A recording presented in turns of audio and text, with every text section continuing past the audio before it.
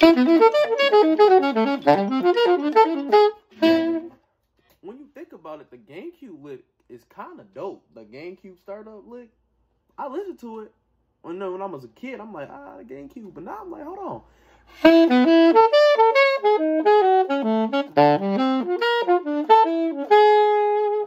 I don't know what you would apply it to in actual music, but like you could just put it somewhere random where it don't belong, and people gonna be like, "What?"